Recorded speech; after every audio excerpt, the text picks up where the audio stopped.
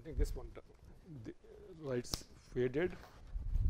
So, we have the stress strain law like T i j equal f 0 delta i j plus f 1 b i j plus f minus 1 b inverse i j, where these f's these are functions of first, second and third invariants of B or C and gamma can be 1, 0 or minus 1. It raises a very good question. Um, and the question is that in this constitutive equation, if say n is an eigenvector of B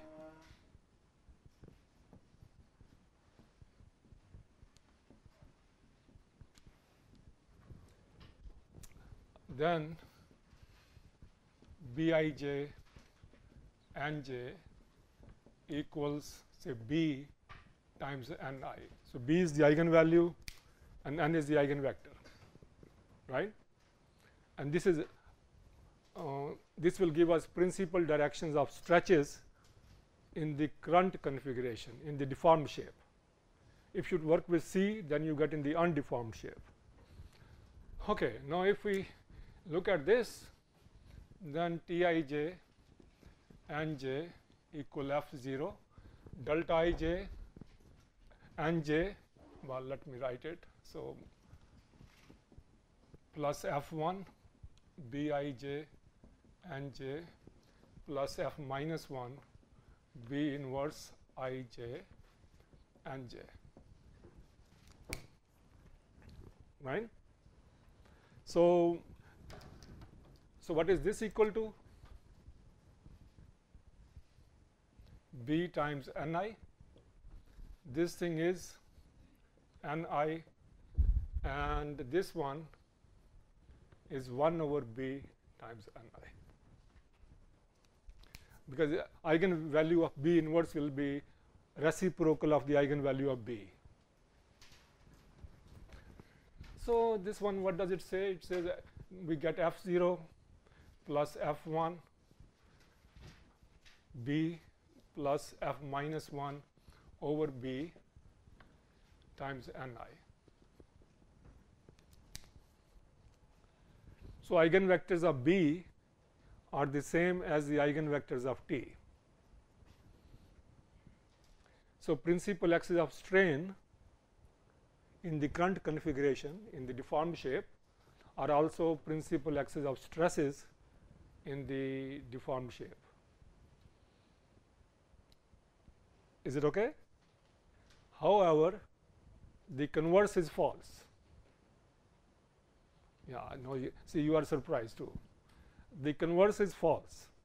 Principal axis of stress need not be principal axis of strain unless some conditions are imposed on f 1 and f minus 1 like see simple problem when I was your age like sitting on that side. So, the question came up um, in my mind not uh, so if I take this bar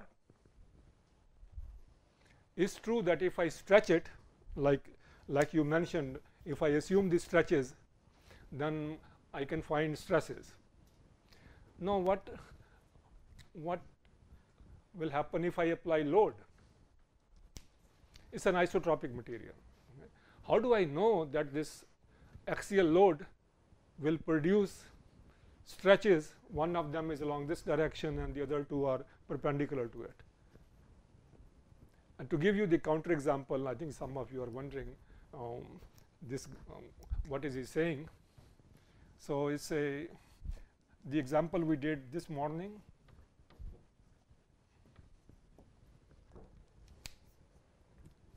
we, we talk this is an elastic material right because in this case free energy depends upon third invariant of B and we derived this is an elastic material. So, what are the principal axes of stress? What are the principal axes of Tij? All vectors. Every vector is a principal axis of Tij. Take any vector you like is principal axis of Tij, but will it be a principal axis of strain? It need not be, because all we know is this that the only way strain is coming into picture is the third third invariant or determinant of f or determinant of c right. So, so the converse is false unless you put some conditions or restrictions on f 1 and f minus 1.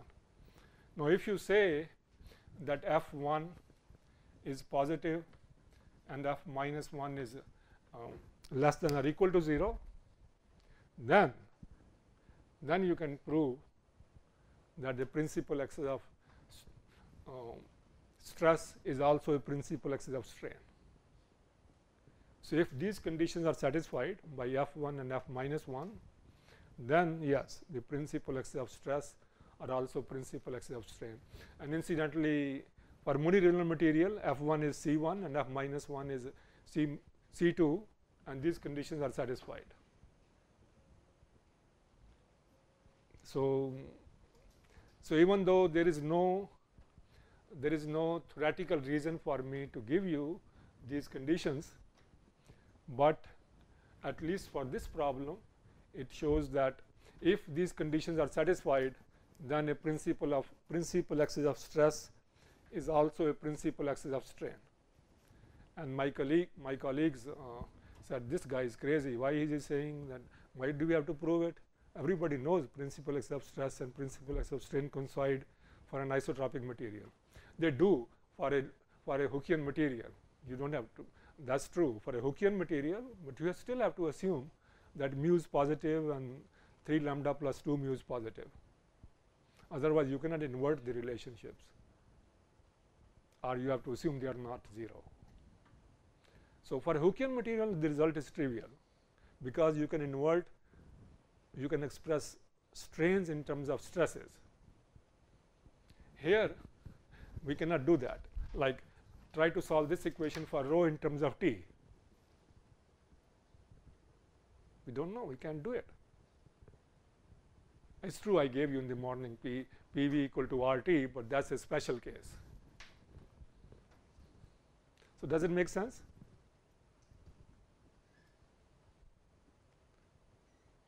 So, we have to I mean we did not talk about what conditions we should impose and same thing when we talked about transversely isotropic materials again the coefficients or the functions should satisfy some constraints for us to get a reasonable solution.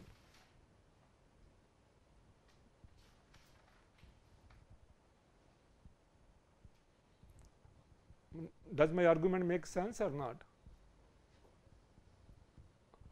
That unless we unless we require this the principal axis of stress this example being need not be a principal axis of strain.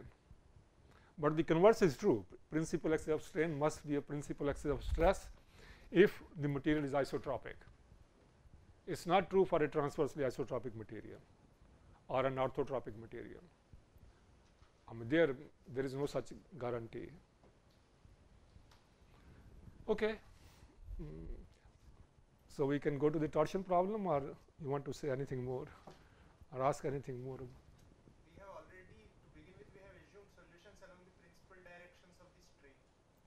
Well, see, we the purpose of that exercise was only to show you the instability. The purpose of that exercise was not to show you whether principal axis of stress and strain coincide or not. How was that done experimentally? How did you know that that would be the direction based on the material? It's. Well, in, in the experiment in the experiments when they did, they this with the equal loads applied, they were getting equal stretches till the instability point reached. I think what he's asking is that how do we know for a fact that the deformations will be like that? No, I, we, no, we are assuming that. No, no, nobody knows. Same thing. Same thing is going to be in the two example problems I am going to do now. We do not know that the deformation is going to be like that. So, what we are going to do is we are going to assume a deformation and show that equilibrium equations are satisfied and the boundary conditions are satisfied. So, this goes back to um, Ericksen. He when he was your age roughly okay? Like probably in 30s or so somewhere in that. Because he proved that result in I think 1956 or 1960 around that time frame. And I'm trying to think how old he was at that time. Because now he is say 92 no he is 92 now not say he is 92 so that means he was born in what? 1935 or something like that? Or 25 25 okay. So that means he was about 30 30 32 years old. So he proved he solved the problem. What kind of deformations can be produced in every, the key word is every, hyperelastic material by applying only loads on the boundaries. So, if the material is compressible, then only homogeneous deformations can be produced in every. The key word is every, not one specific material and for an incompressible material. There are five families of deformations that can be produced in every incompressible hyperelastic material. Out of those five families, four he specifically gave. The fifth family Family means there are more than one members. So, the, the fifth family he gave conditions and I think it has taken people like 30, 40 years to exhaust the fifth family and I am not sure if uh, we have found all solutions or all members of the fifth family or not. But the four, fam four he very explicitly said okay these are the solutions. So, whatever member is it must be of this subclass. But the fifth one he only said okay these are the conditions that should be satisfied and then people have been exploring that for the last 35 40 years trying to find members of that family. I cannot give you how many members they have found because I do not know myself. Uh, but See, if you do a problem like that, a general problem, then you can you can be Einstein, like sadhana, you know. So he did uh, when Ericksen did this sadhana at the age of 35 or so. I don't know what he did, I mean, how he found it or how he thought of it, but I mean he proved mathematically that these are the uh, solutions. And um, most of us have been following those footsteps. So, the ones I am going to show you two now the next two are members of those families. So, what it says is um, that you assume the deformation and you can find loads to be applied on the boundaries not body forces. We are going to assume body forces are 0 that you can apply you can find surface tractions that will produce those deformations. So, you assume deformation there are a couple of unknowns in it and then you find B and find T, find equilibrium equation, solve, show that equilibrium equations are satisfied and then find the loads required to produce those deformations. Okay, so that's what we are going to do for two problems like one is torsion and the other is bending. So, it is like bending when we do it, it is going to be a rectangular beam bent into a circular arc and that is what we do for small deformation problem also. Um, his family, this family was general like is, so you can do bending, twisting, stretching all combined, but if I do all combined then the picture becomes muddy and it is not quite clear what, are, what is going on. So, I am going to really do uh, a specific member like only torsion and then only bending, not combine the two, not combine radial expansions here. So, you could in principle take a hollow tube, bend it, expand, radially expand it and twist it. But just become the algebra will become a little bit more involved.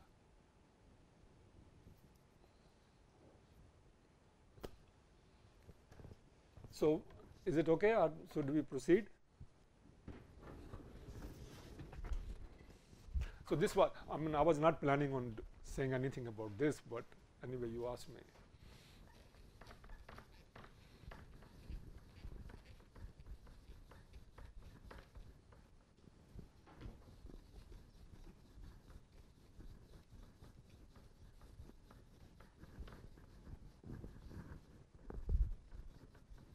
So, for the torsion problem, so we again take a circular bar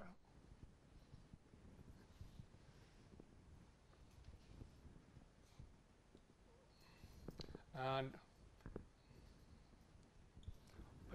let me see which way is my I think this is x3 axis and so this is x1 and how should I twist it so it will go down? X2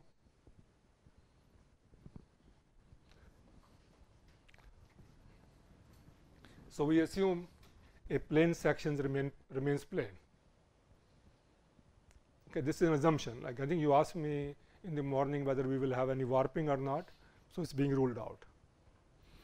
So, we a plane section remains plane. So, we have a circle and so this is twisted or by an angle theta. So, this angle is a beta and this point P moves to P prime.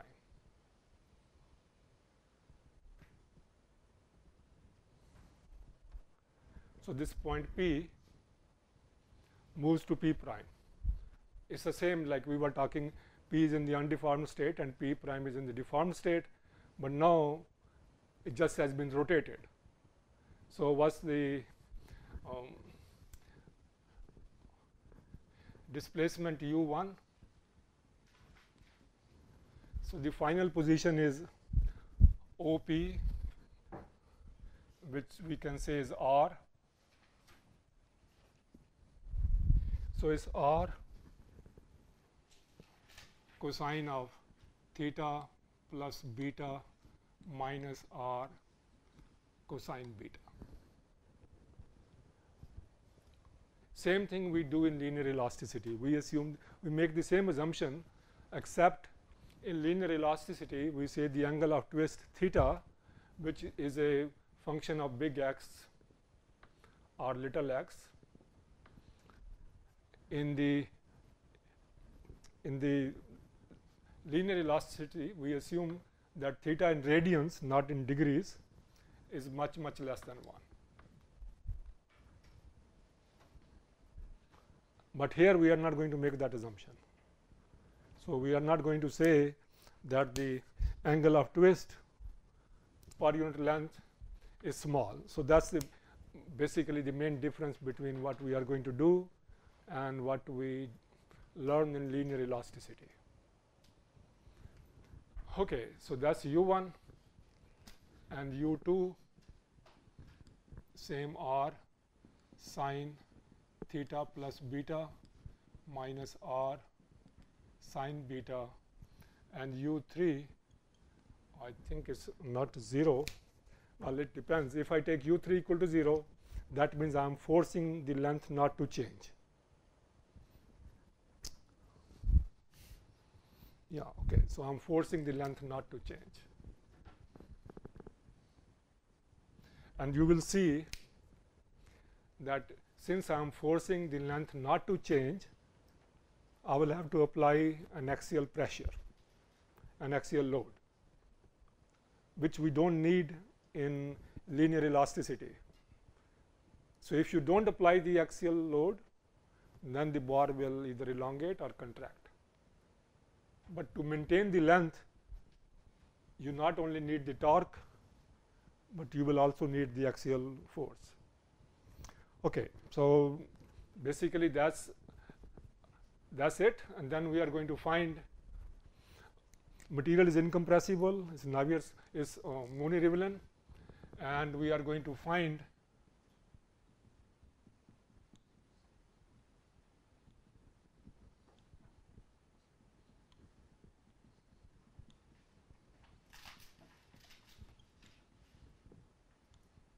actually we have been calling it C2 not C minus 1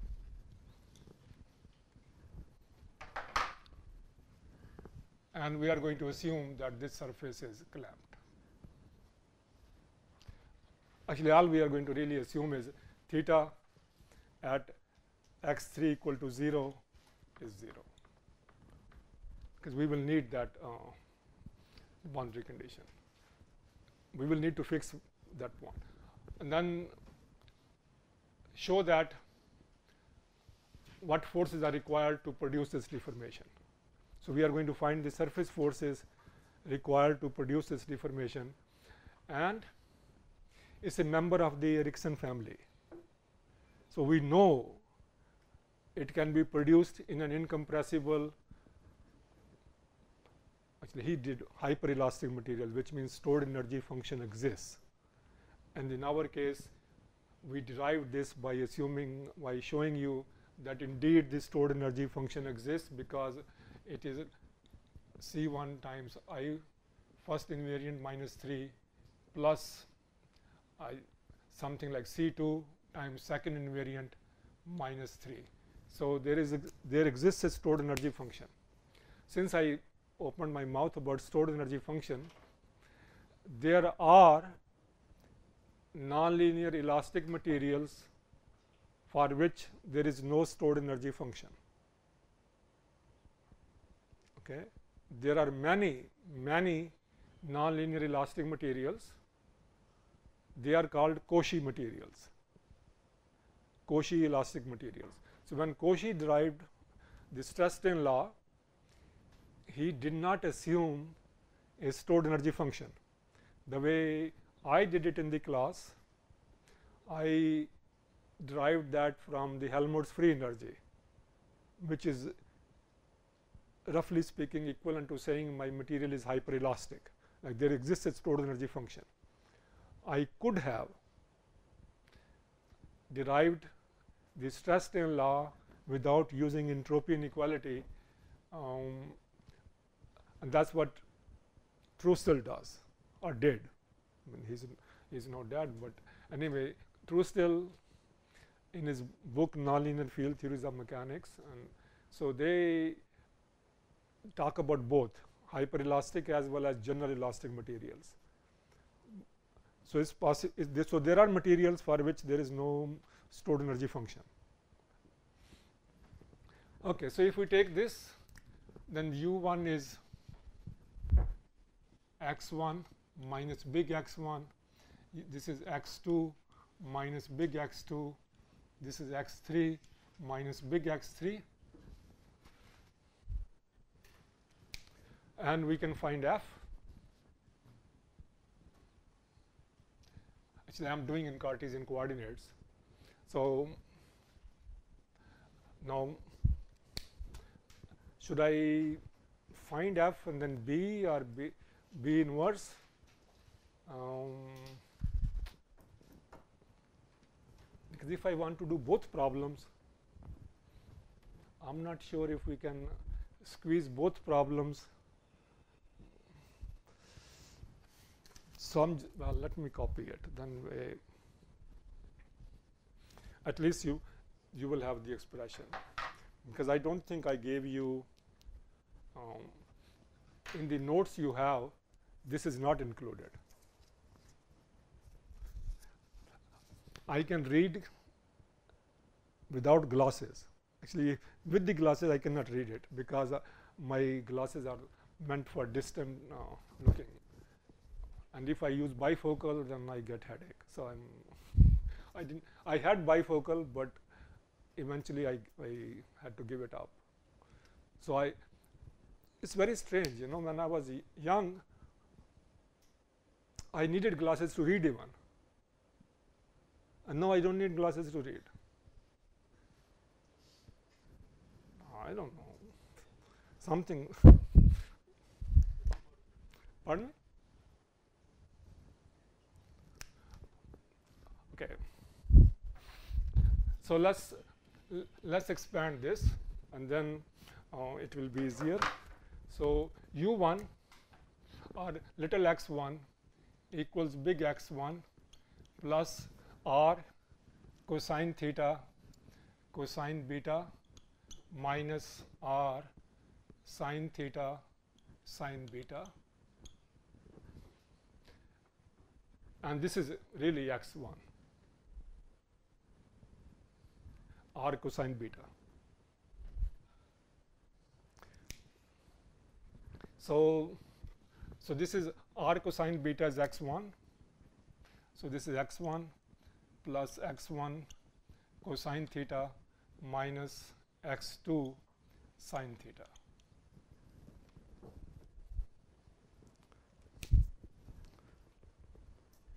Oh.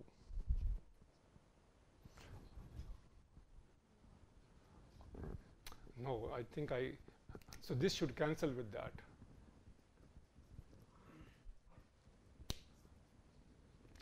Yeah, so this is x1, big x1. So this, this should not be there then.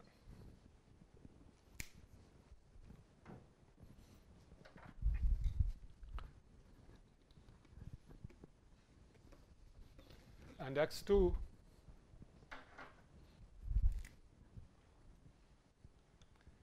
is r sine theta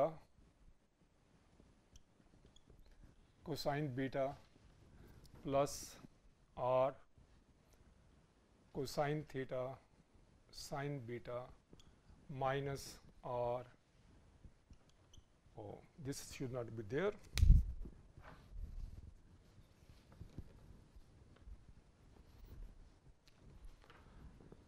Okay so what is this r sine theta r cosine beta is x1 sine theta plus oh, x2 cosine theta. So, now we can write f.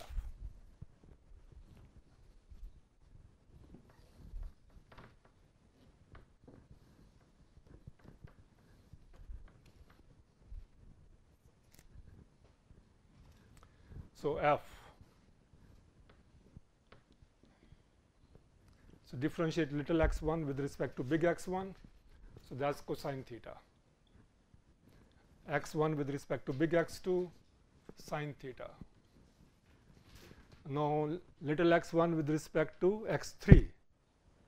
So, this theta is a function of x 3 and little x 3 equals big X 3 because we said u 3 is 0 because we said u3 is 0, so little x3 equals big X3, right. So, if now we differentiate this with respect to x3, what will happen?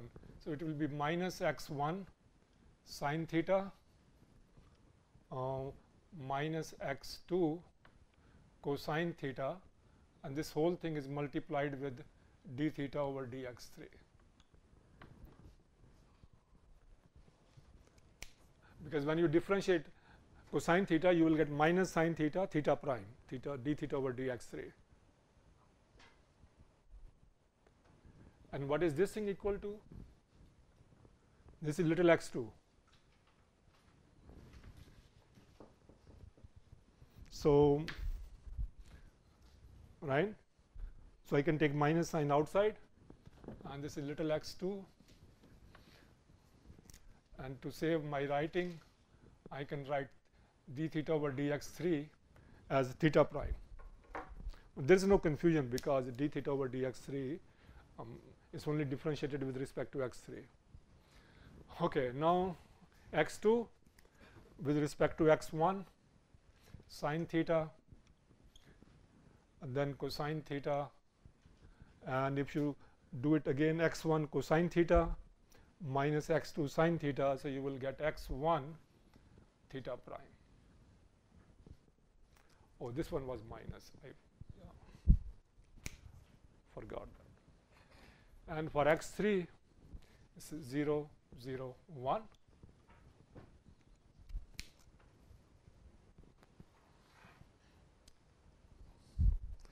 Does it make sense? And then we can find B, FF transpose and find B inverse. So, let us assume it is done because you can you can know you can multiply B. So, I am going to raise it and let us assume it is done. So,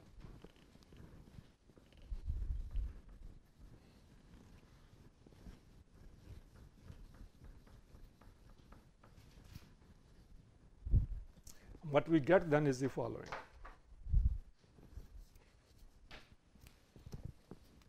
The T equals minus P times identity plus C1 times B and that B is 1 plus theta prime square x 2 square minus theta prime square x 1 x 2 minus theta prime x 2 1 plus theta prime square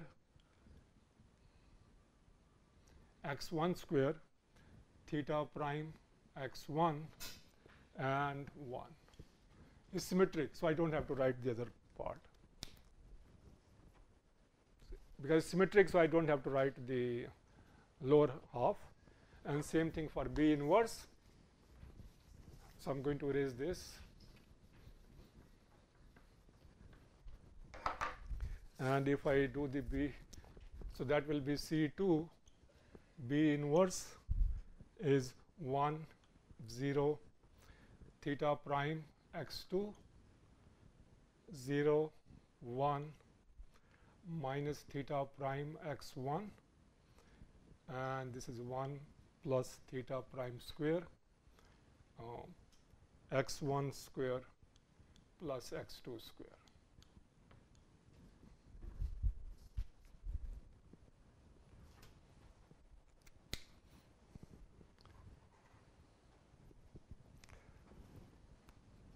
I mean I would have liked to multiply, but I think you can multiply f f transpose and then take the inverse.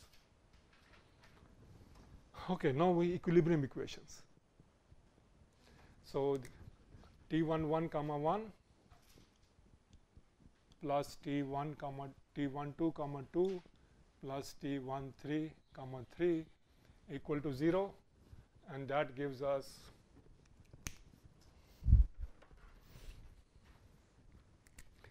minus delta p over delta x 1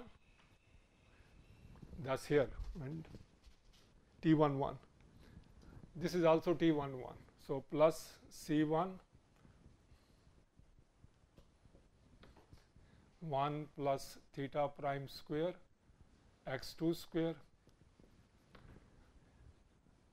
Then uh, there is a term here plus delta over delta x 1 of 1 T 1 1 this is all this is all coming from T 1 1 plus T 1 2. So, that is so minus C 1 theta prime x 1 x 2 theta prime square x 1 x 2 and then 0 here then T 1 3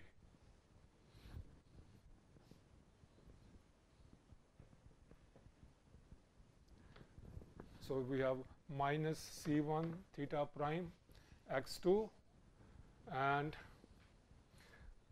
plus c2 theta prime x2. So, that should be 0. So, we copied all the terms right I hope.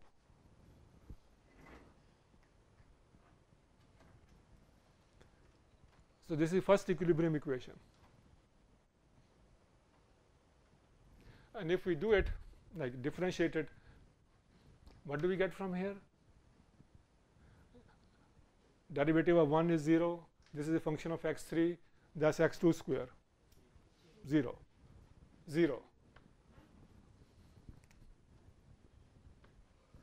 so we get something from here.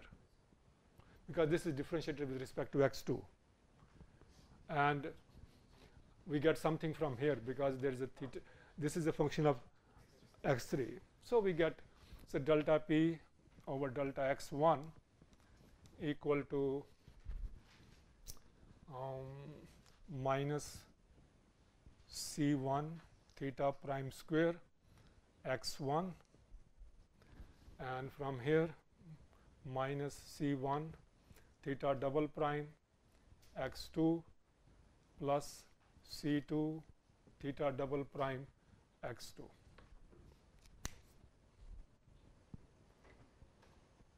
So this is minus delta p over delta x1. So I can take it to the other side, which I did.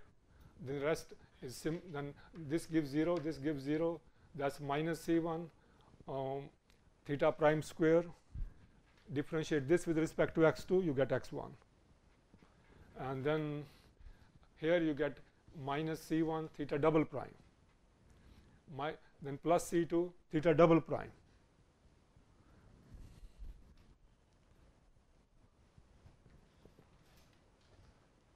And then now we work with the next one. So, we will get delta p over delta x2 and then we will get delta p over delta x3. So, I will spare you the pain of writing, um, but you can I mean see that right. So, I think delta p over if we look at the third one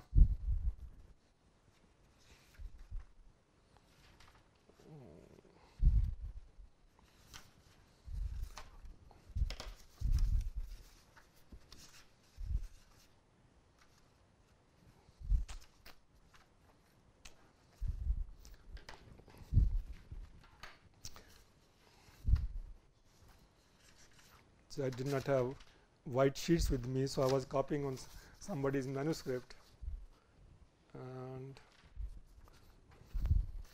uh,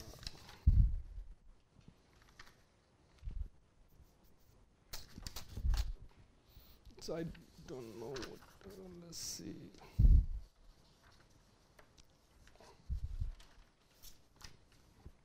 okay anyway I don't have the with me so less what we will get is delta what will be delta p over delta theta. So, that will be delta p over delta r. No no no no. What I am going what I want to do is I want to use now um, r theta z coordinate system and show you that p is really only a function of r. That way it will simplify some algebra and after I do that assuming it's done then what are the boundary conditions now?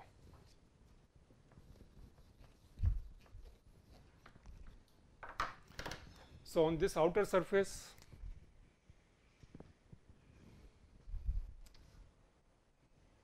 a circle is it has been assumed that a circular tube or circular cylinder is being deformed into a circular cylinder right. So, the, the normal to this uh, the boundary if you look at the normal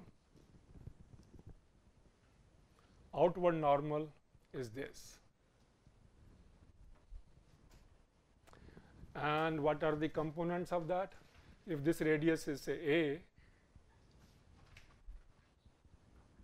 what are the compo components of that. So, n as components x 1 over a, x 2 over a 0.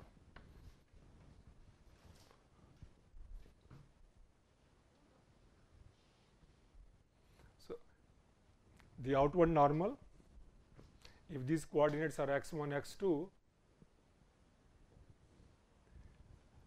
cosine theta which is x 1 over a sine theta is x 2 over a and this is perpendicular to the x 3 axis. So, th third component is 0.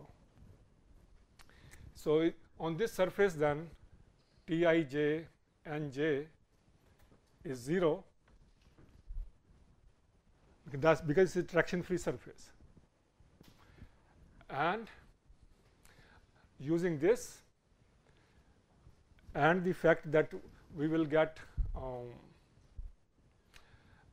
if I express this in terms of r theta coordinate system, I thought I had brought it with me, but do not see it.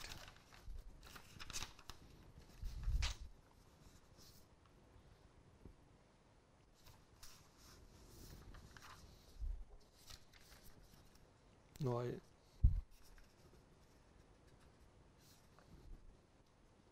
Yeah, I don't have it, but I, I can give you rough outline because I, I don't have the, uh, wait a minute, I do have, I have a book with me. Yeah, the problem is in the book, it's solved there. So I have it, yeah, yeah, okay, except that I have to look at the, into the book.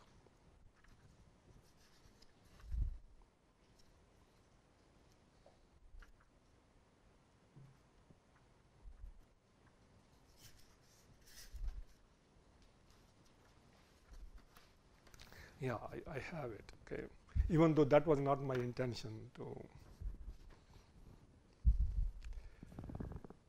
Okay, so we get delta p over delta x one, then delta p over delta x two, and delta p over delta x three, and it does satisfy the compatibility conditions. Because if you want to integrate it pressure, then this thing should equal delta square p over delta x two delta x one the partial partial derivatives must commute otherwise you will not be able to integrate these equations for pressure and fortunately they are satisfied. Actually I was doing not this problem for a functionally graded cylinder. Mm. I was doing the same problem except I had assumed that the material properties which means uh, C 1 and C 2 they depend upon x 3, then assuming my algebra is was correct, okay, that is a big if because I am the only one who checked it. So, assuming my algebra was correct, these conditions are not satisfied. But remember in that case I am assuming C 1 and C 2 are functions of x 3 then those conditions are not satisfied. Therefore, this type of solution, the one we have assumed, is not possible in a inhomogeneous cylinder, in a cylinder made of a inhomogeneous Mooney-Rivlin material with the material properties varying along the x 3 axis. If the material properties vary along the radial direction, then people had solved that problem. Okay.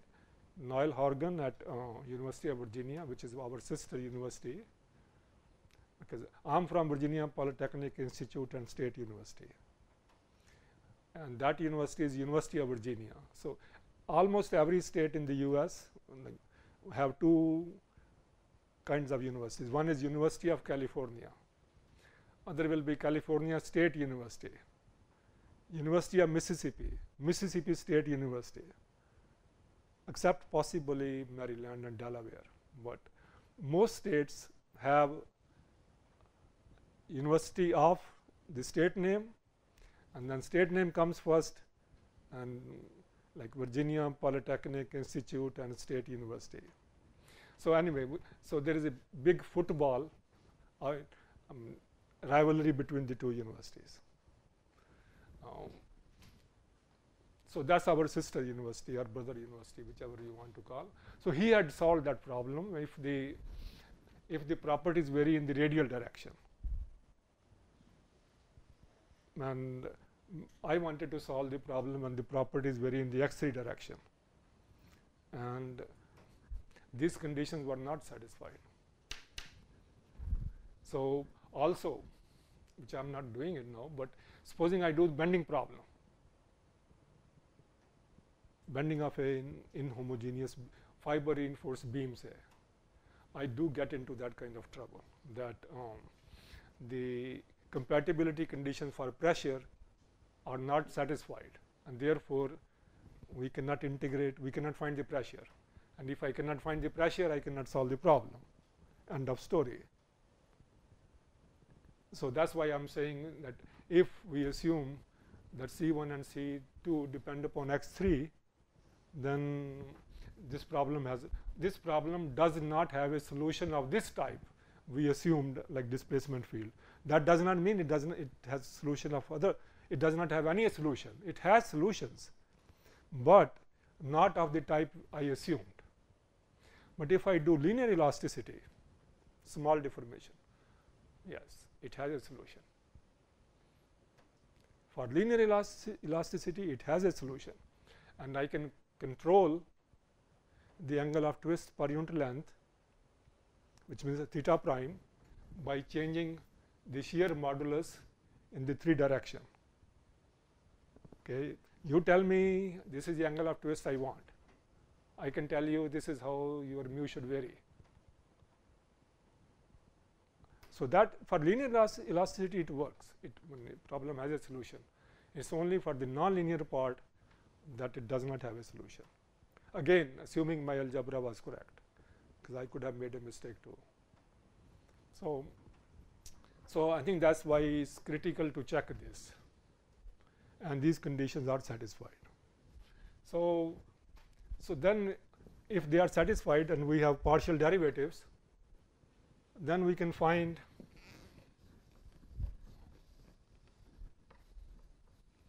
delta p over delta theta. So, that means like and so that is delta p over delta x 1 delta x 1 over delta theta plus delta p over delta x 2 delta x 2 over delta theta. Now, remember x 1 is r cosine theta and x 2 is r sine theta. So, the, so you can find a relationship between the two and it comes out to be 0. If you substitute for delta p over delta x 1 from here, delta p over delta x 2 from here and x delta x 1 over delta theta from here and x 2 over delta theta from there and then I think it yeah delta p over delta theta comes out to be 0. Oh. yeah, yeah I think I, I skipped one step though. So, these conditions compatibility conditions they require yeah I think I skipped that part. So, these compatibility conditions there are uh, this is with respect to x1 x2 the next to x3. So, like I should write similar one like this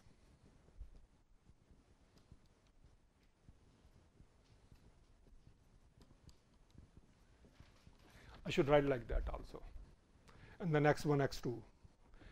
These require that theta double prime should be 0. So, these compatibility conditions are satisfied if theta double prime is 0, which means that the angle of twist is some constant, uh, well angle of twist is constant and then theta is tau of x 3 plus a constant. And now you use the boundary condition that at x 3 equal to 0 theta is 0 therefore you can get rid of this constant so Yeah. So, when I did the problem for the inhomogeneous cylinder, this condition theta double prime equal to 0 of course does not come because my modulus like C1 and C2 depend upon x3. So, when you differentiate then you do not get this condition, but you you basically cannot satisfy these and that is why that problem has uh, no solution. Okay, but this one has a solution because C1, C2 are constants. So,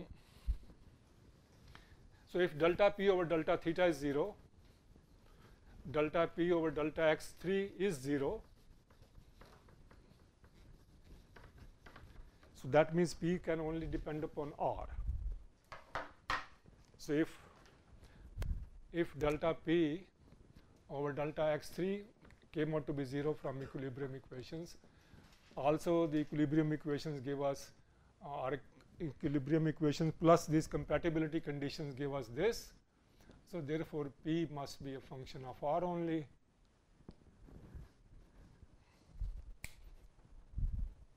And the stresses vary only in the radial direction. So I think um, in the interest of time what I am going to do is just give you the final result. Um, so, what about the forces here the axial force. So, the axial force N 3 should equal what? What should be the total resultant axial force? we cannot satisfy point y. So, the total axial force. So, what should be that? What is the normal to outer the surface outward normal 3 3. So, in, so that is the normal to this n is 0 0 1. So, the traction vector will be f i will be t i j and j and that is delta j 3 because only 3 direction. So, it is T i 3.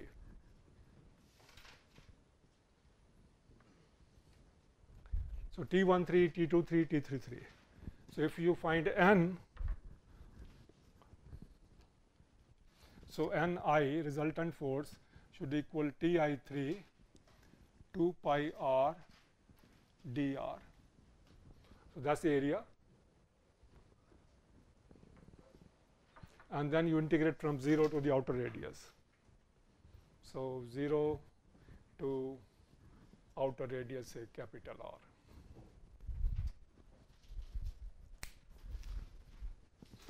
Or if you, you want to use A up to A, whichever way you like. So, does that make sense? So, what we get then is that uh, this thing equals minus C 1 plus twice C 2 pi outer radius 4 over 4 tau square delta I 3 which means n 1 is 0 and n 2 is 0 and n 3 is non-zero. if you do linear elasticity, in linear elasticity, we neglect terms that have tau angle of twist per unit length square. Remember this tau was theta prime is tau, angle of twist per unit length. In linear elasticity, we neglect terms which are quadratic or higher order powers in, in tau.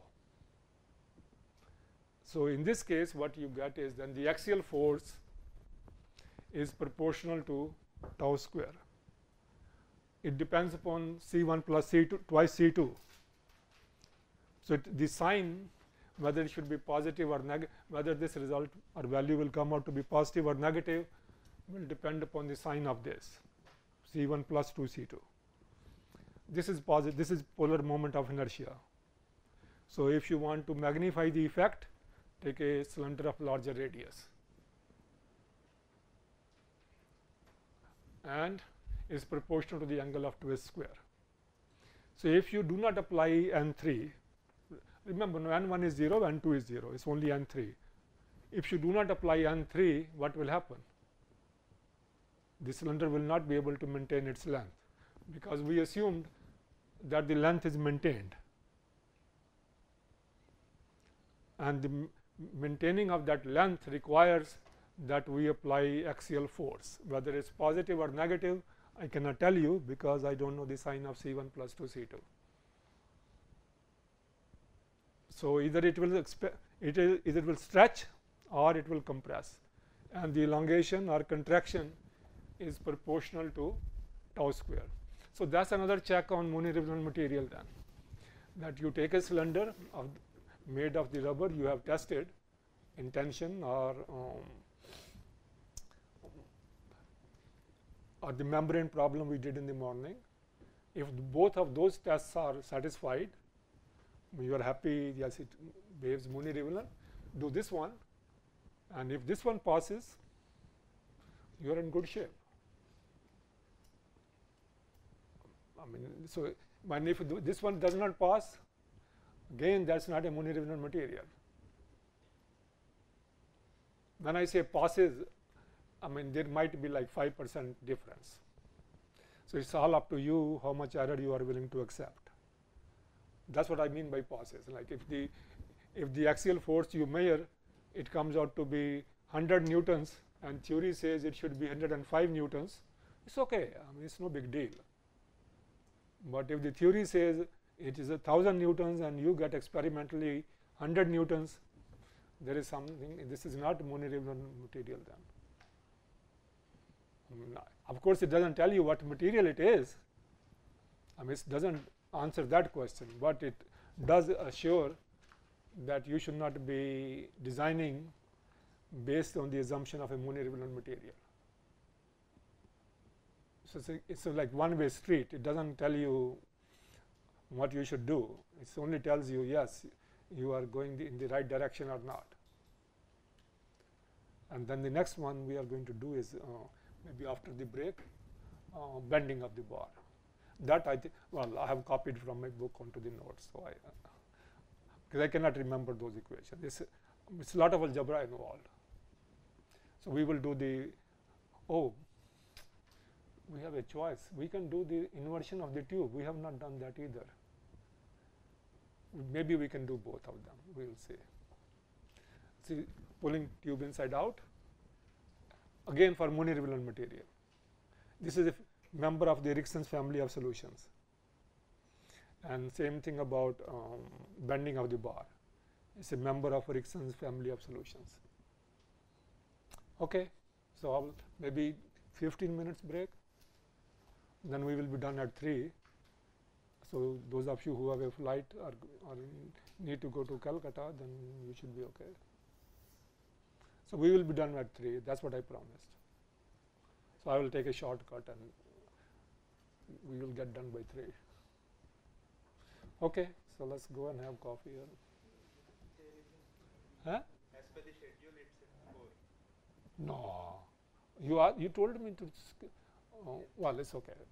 No, now it is 3. So, after you are done, it will end at 4. Oh yeah, yeah, yeah, yeah, yeah, yeah. Sorry, sorry. Yes, yes, yes. Oh, you mean coffee will come at 4? That's what he oh. meant. it's okay, we can have 10 minute break. Comes outside surface. So, that will cause a lot of strain. What we will start with is, so we take this tube and there is a pressure P inner and pressure P outer. And then when we after we have set up the problem, we will solve it for the case when the inner pressure and the outer pressures are 0. That is what I said there can be two solutions, one in which tube there is nothing happens to the tube, it is not deformed and in, in the other case inside surface will become outside surface. So, there will be lot of strains induced in the tube. Mo again mo material is going to be Mooney-Rivlin. And the so if we take this is inner radius and if we um, work in terms of the cylindrical coordinates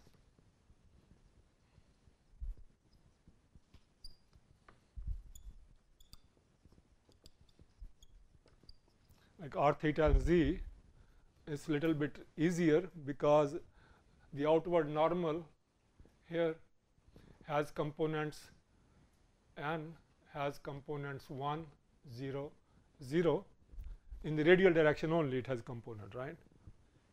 And the inner one here has components minus 1 0 0 it's an r theta z coordinate system. I know i did not cover the equilibrium equations and all that stuff in cylindrical coordinates but i think most of well, how many of you are familiar with cylindrical coordinates? So all of you are familiar. Okay good. So the so we are going to assume that under this radial pressure applied on the inner surface and, uh, and the outer surface or any one of the two or both, the tube expands radially. So, little r is a function of big R. I am not telling you what function it is and theta does not angular position does not change and z So, little z becomes big Z over the length. I mean the, the, the total length can change.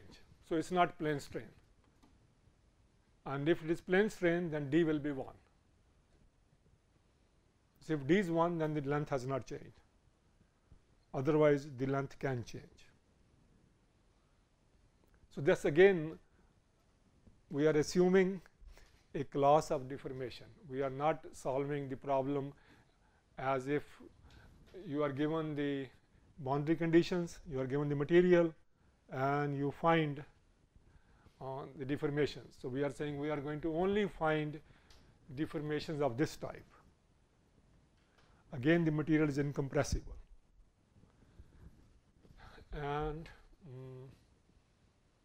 so, what so the boundary conditions are T R R is minus P outer at R equal to R outer and is minus P inner at R equal to R inner. And this is the um, TR theta and TR z are zeros both on the inner and the outer surfaces. And the ends they are basically deforming uh, homogeneously because um, we are saying little z equals big Z over d. So, there may be pressure required at the ends, there may be no pressure required at the ends. And if you do not re require pressure, then the length may change. Okay, so now let us write f. So, first part is simple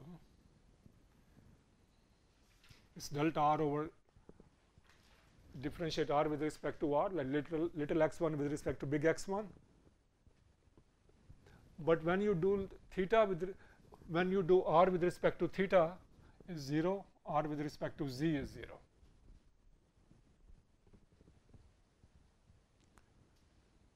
Easier part theta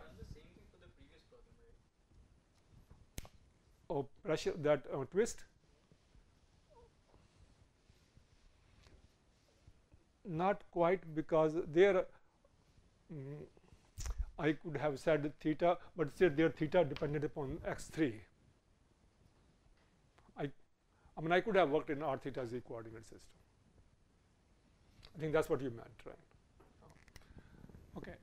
So, theta with respect to r is 0, theta with respect to theta is 1, but that is not in physical components. So, the length element is really little r times theta and big R times big theta in the uh, in physical components. So, these are physical components not tensorial components and then this part is simple 0 0 0 1 over d. Okay. So, this is these are uh, what we call covariant derivatives, contravariant derivatives and then you use the metric tensor to convert tensorial components to physical components and um, that is done here.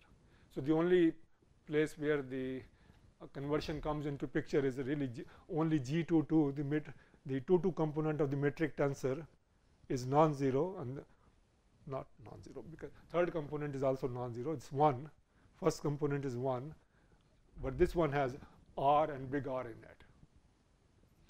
So, if you are comfortable with this then life is a little simpler. It's okay? okay good. So, then B because this is diagonal so we can say R prime square 0 0 0 R square over R square 0 0 0 1 over D and B inverse is easily found. What is determinant of F? Because the material is incompressible. So, determinant of F should be 1 is determinant of F in physical components. Otherwise, you have to worry about contravariant covariant components. So, that is oh since it is a diagonal matrix, so you just multiply the three diagonal terms and that gives us r prime r over big R d and that should be 1. So, this means that dr r dr should equal r d dr. This r prime is derivative of little r with respect to big R. Am I, am I going too fast? If we integrate this, so we get r square over 2 equal to d r square over 2 and constant of integration I will write it as a over 2. So, I do not have to worry about 2's all the time. Instead of writing a, I can write a over 2. So, 2 cancels.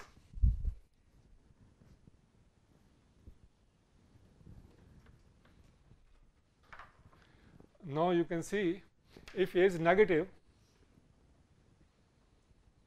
if a is negative, little r can become less than big R.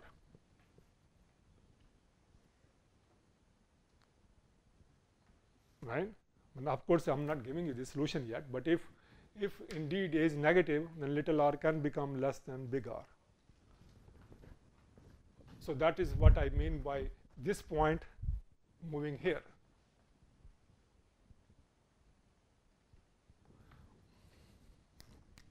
Okay, now, so we need uh, equilibrium equations. So, that is T is minus P times identity plus C 1 B is this if r square is that then if you differentiate it you get twice r r prime is equal to 2 d r.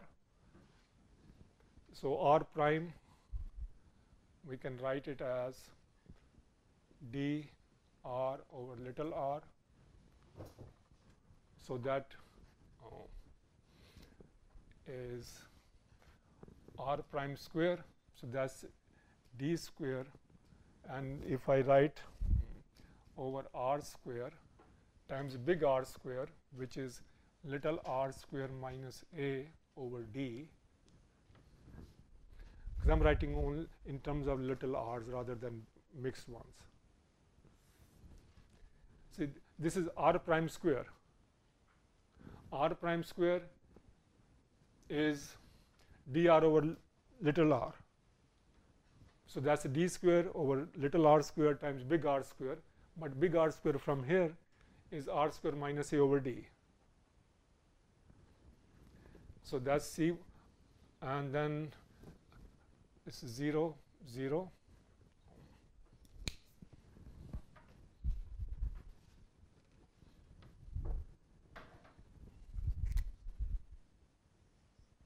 Zero r square over r square.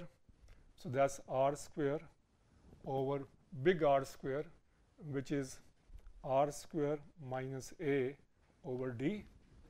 0 0 0 1 no 1 over d square.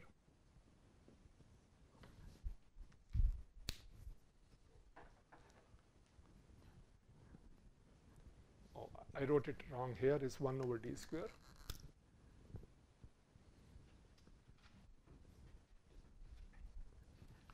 and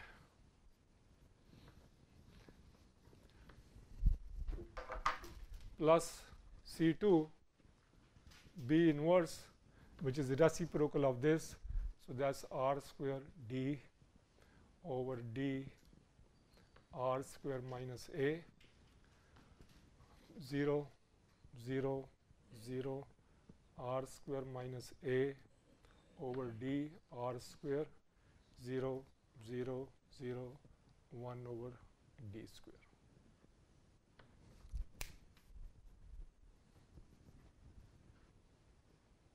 Oh, sorry, d square.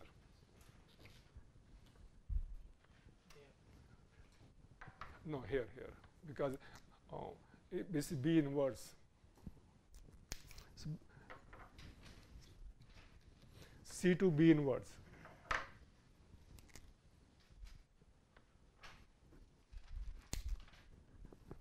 This is B inverse of since a diagonal matrix so all I have to do is take the inverse take the reciprocal of each diagonal term and that's what I have done. And I think I copied everything right. I'm sorry? This one? Inverse 1 1. First term, first C2. Square by d square. oh In denominator it should be uh, here first one. First, first. this one Ah, d square. In the denominator. It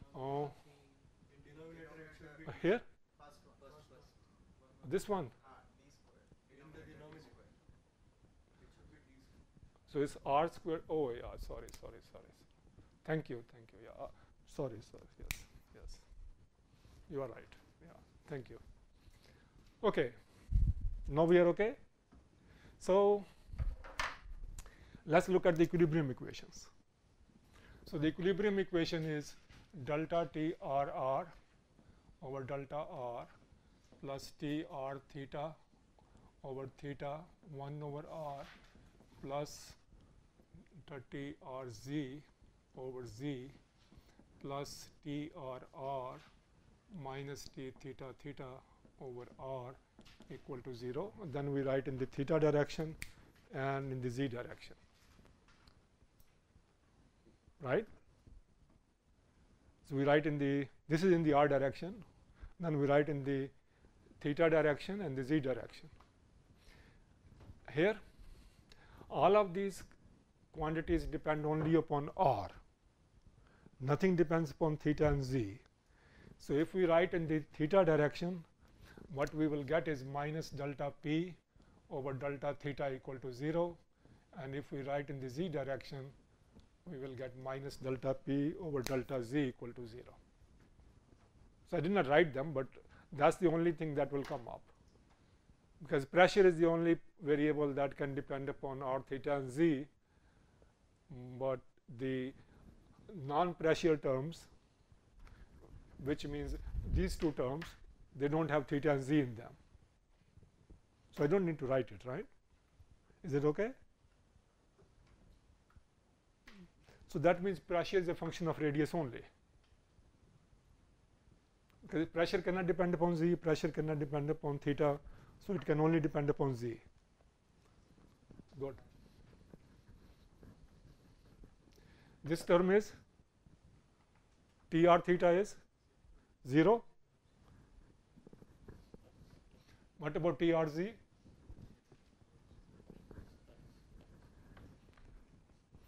And since everything is a function of R only, so this partial derivative becomes total derivative.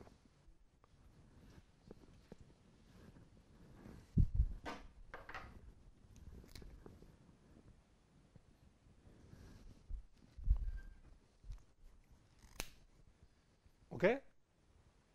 So now I integrate this. So I can say first dt r over dr equals negative of this and then I integrate over the um, radius. I integrate with respect to r. So if I do that, so we'll get TRR from inner radius to outer radius. I left some blank there and that's t theta theta minus t r r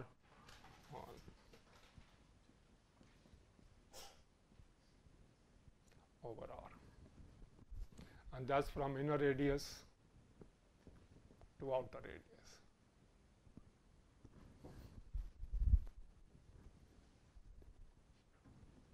And what about this? The boundary conditions are that T r on, on the outer surface is minus P outer and on the inner surface is minus P inner.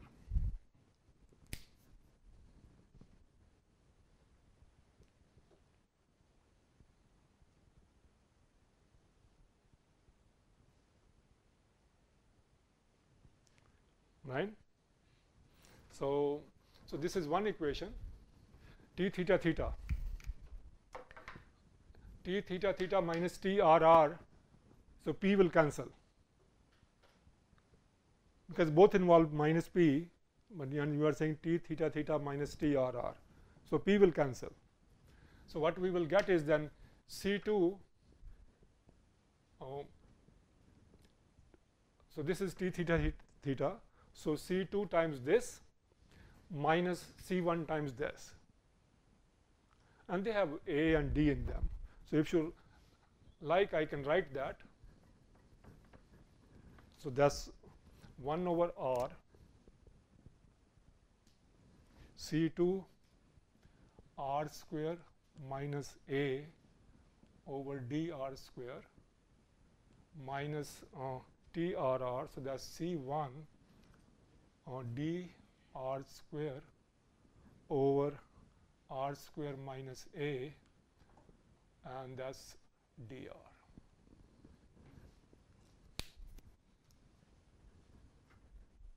Good? Is it okay? So, if I want to do the eversion problem, eversion means like pulling tube inside out,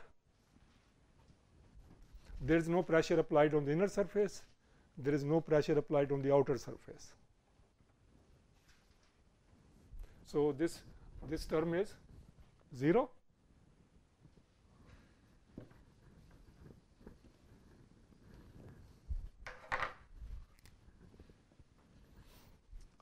there are two constants in it a and d.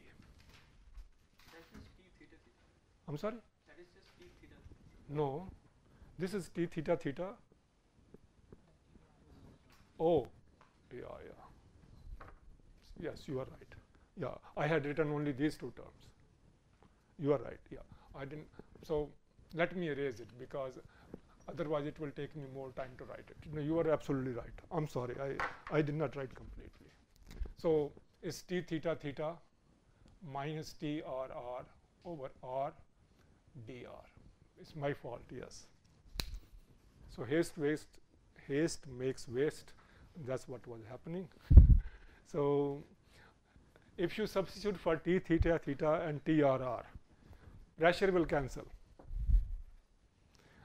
You will get this term, that term, this term, that term and all of them have little r in it and constants a and d in it. We do not know r inner and we do not know r outer right. So, change the variable of integration to capital R and there is a relationship between little r and capital R. So, change change the variable of integration from little r to capital R uppercase R then you know R outer and R inner. So, we can in principle we can evaluate this integral in principle. If we are doing the eversion problem there is no axial force applied at the ends. So, what is the force here?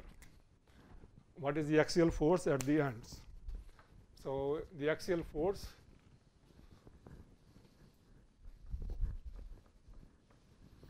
the axial force at the ends is F axial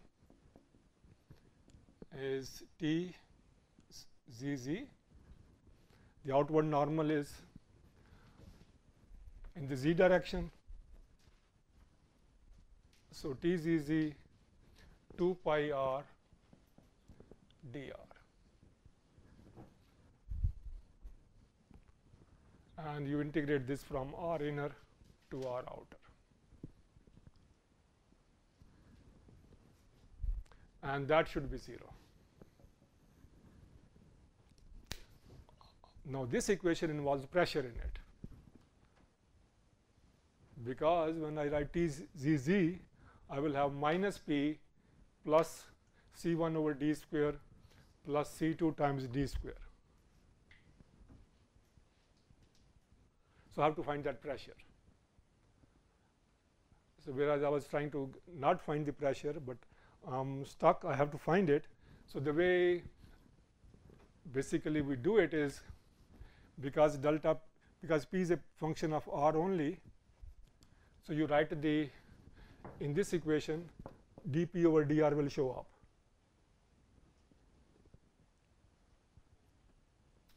So, you integrate it and then you use the boundary condition either on the outer surface or on the inner surface to find the constants of integration.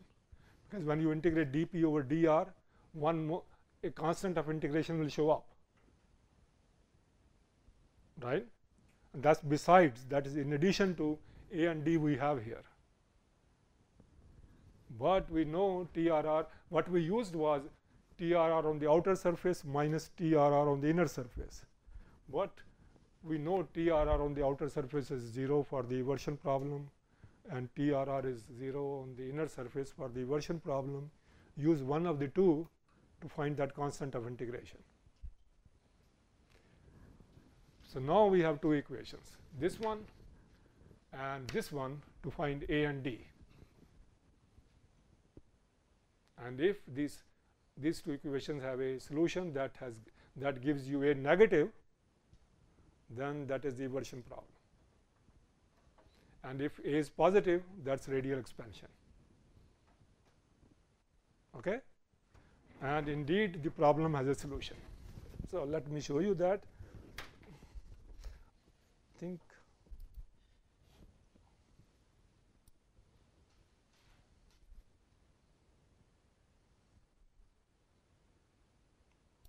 So, that is this I hope you can see it that is section on eversion of a tube. It says functionally graded forget about that part because in functionally graded C 1 and C 2 are functions of radial coordinate. Um, again it is a fancy word. I mean you know these days seriously I mean if you open any journal you will get maybe 5 papers on functionally graded materials and all of them say these are an advanced class of material, these are new materials, but mathematicians were studying it in 1920s. They were calling it inhomogeneous materials.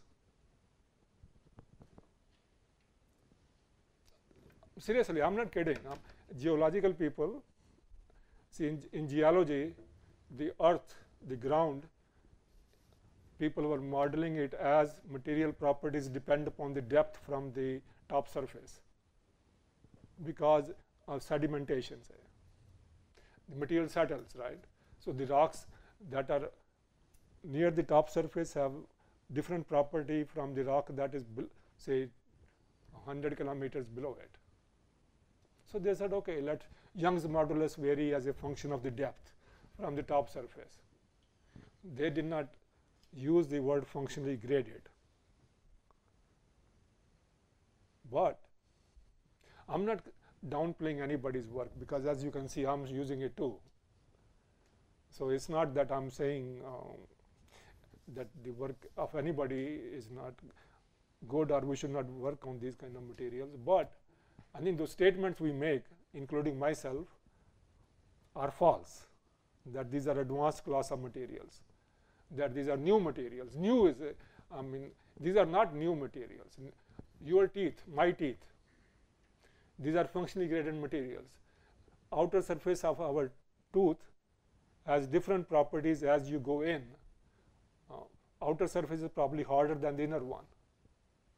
So it's a functionally graded material. Nature made it, designed it so that our teeth, um, they were great. They last for, I mean, like in my case, say, well, in most people cases, they last for a long time, 70 years, 60 years. All we have to do is brush them.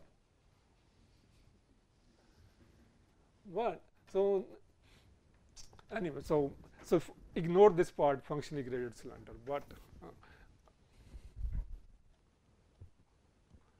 okay. So this is the this is how TRR and T theta theta vary when you invert the tube. So as you can see, TRR is very small as compared to T theta theta, and when the, the case when alpha equal to 0, alpha and beta are 0, which is curve number 2, that is for a homogeneous material. Okay. So, uh, alpha, alpha and beta equal to 0 is for a homogeneous material, the others are for non-homogeneous materials. So, the, the point is that the problem does have a solution. You can invert the tube like inside out and the hoop stresses are large as compared to the radial stresses, which of course you will expect that. Because what we are, the boundary condition is on radial stresses, not on the hoop stresses.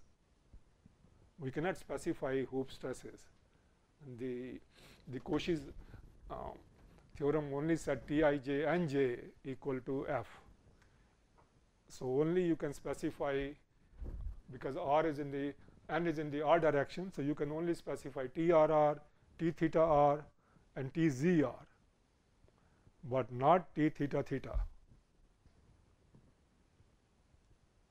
So, the depending upon the values of C 1 and C 2, you may get quite different solution. It is possible that for some values of C 1 and C 2, you will not get any solution that is that has A negative. So, that means the tube that tube cannot be inverted and if you force it, it will crack or it will not say it will not stay a cylindrical tube. It may not crack, it will not satisfy this deformation field. Remember we are assuming deformation field. So, if you force it and the C1, C2 are such that there is no solution, then it will not stay a tube, it will become something else. Also, if you do the problem numerically, I mean, I do not know what Abaqus will give us.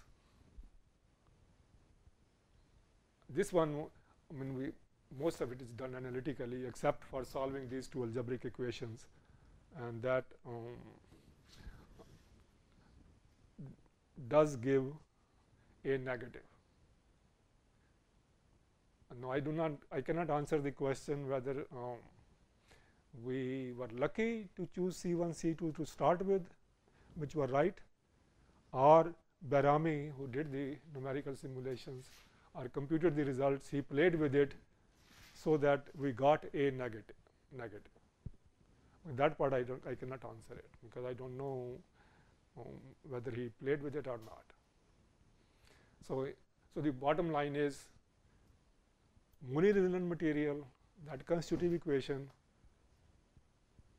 does predict two solutions of the same equilibrium problem as there should be. If th there may be more than two, but at least there should be two, at least two, and we do get two. So, so that shows you the beauty of nonlinear elasticity. Of course, you could not do this in in linear elasticity. You could not even dream of uh, pulling the tube inside out. But in nonlinear elasticity, yes, and yeah, you same thing happens in the in the sphere problem, hemisphere problem. You can, you can invert it inside out. And since I'm I have the files open, let me show you what happened with the mm, oh, let's see. So is this actually seen in practice? Yes, yes. Oh, yeah, yeah. Actually, yes. When I was a student at Hopkins, Professor Bell, who is an experimentalist or who was an experimentalist, incidentally, Professor Bell did not have a PhD, but he did innovative experiments. He seriously, I'm not kidding. Like he he did uh, he used diffraction grating to measure strains based on the wavelength of light. So, the resolution was roughly speaking the wavelength of light. So, what he did, yeah, you are surprised. so, what he did was, let us say this is a, you guys are taking me into different directions, but uh, anyway, well, I should not blame you. So, supposing this is a tube, right, or metal metallic bar. So, he will, not he will, but the machinist uh, will um, etch, uh, use a lathe cutting machine to draw lines which were um, I think there were 10,000 lines in an inch. The more you put the better it is and you shine polarized light on it. So, you can measure the spacing between the lines. Now, if you deform it, either compress it or pull it, it's up to you, the distance between the lines will change. Of course, right? That polarized light will give you diffraction grating, it will give you diffractions. And by measuring those diffractions, you can see, because you can measure those diffractions based on the wavelength of light. If it is if it's off by one wavelength, you will see a different pattern. So, which means if this distance increased by one wavelength of light, you will you can measure it. And if you take say yellow light or red light or green light, their wavelengths are different, then you can depending upon which polarized light you use, you can find how much the distance between these lines changed. Great, right? You can you don't have to touch it. Um, you are not touching the uh, this test piece. And of course, they were using a shock tube or a split up shock tube to load it under dynamic conditions. Those strains strain rates are of the order of 10 to the power 4 or 5 per second, 10,000 per second strain rate. So, you are measuring these things in milliseconds or microseconds and so they could measure the properties uh, of the material at high strain rates without using any of the present use nowadays we can use cameras. So, these cameras they can take million frames per second. No kidding million. Oh million 10 lakh frames per second. Because I, I, you, we are used to million and you, we here we are used to crores and lakhs, right. So, it is 10 lakhs frames per second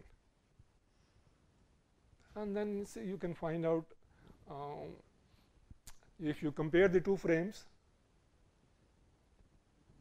and if we have enough resolution to see how many what is a pixel this how many pixels a point moved you can find strain rates uh, quite accurately. But the point was that he did it um, like 50 years ago. I mean, at that time, of course, nobody had cameras that took um, 10 lakh frames per second. Okay, so what I was going to show you was the torsion problem, and thus uh,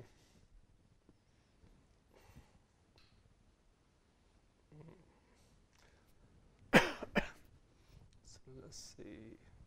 Oh, I need to go back. I think.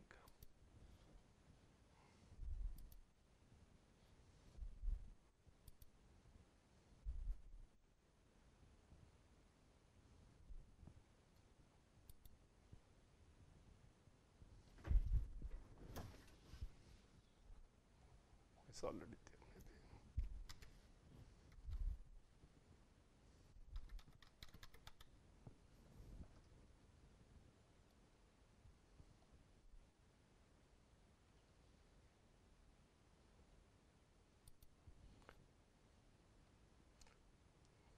It doesn't load it.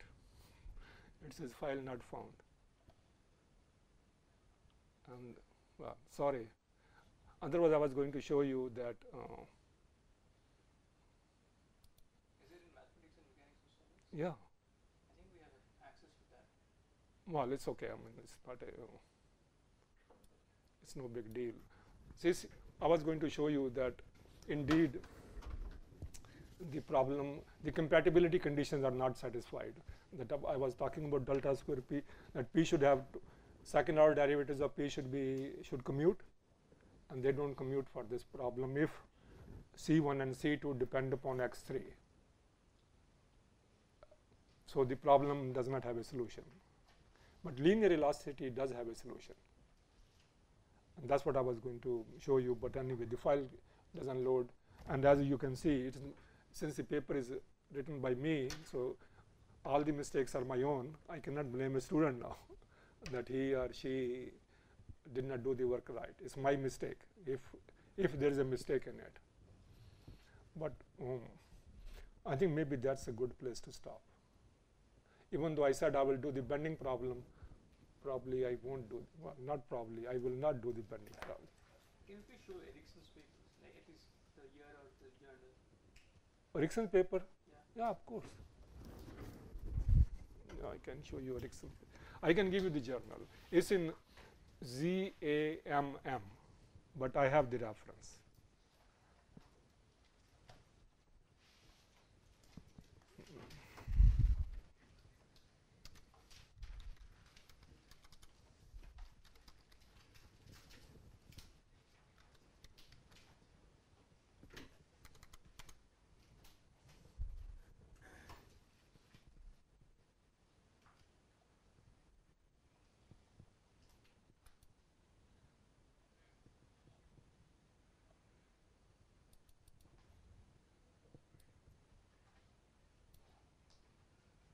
Here, number 28.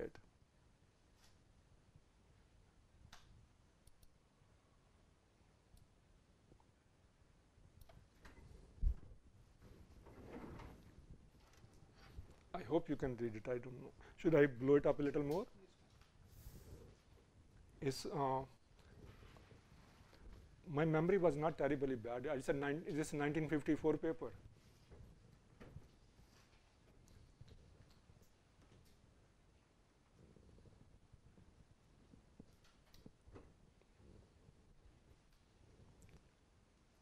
It will take you a week to study it. Not, I mean, if you want to really follow it, it may take more than a week.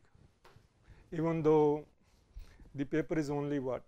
Oh, it's 20 pages, 21 pages. So it can take more than a week. Certainly, it will take more than a week. It will not take one hour or two hours. Of course, you can read the English part and say what he proved, but if you want to go through the math, then it will take time. Easier part might be, I think some of one of you had downloaded that book by uh, not, like nonlinear field theories. I think Truesdell and Noll have summarized that paper in that book. So it may be easier to read uh, nonlinear field theories than to read this paper. It's up to you. Um, I'm not saying um, that you should not study this paper. You should, but have patience.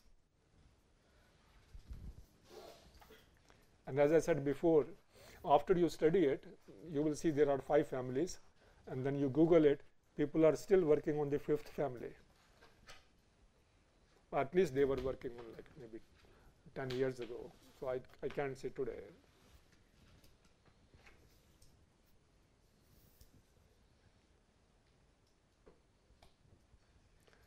Okay, well, thank you. Thank you for being very patient with me and enjoy the rest of your academic life.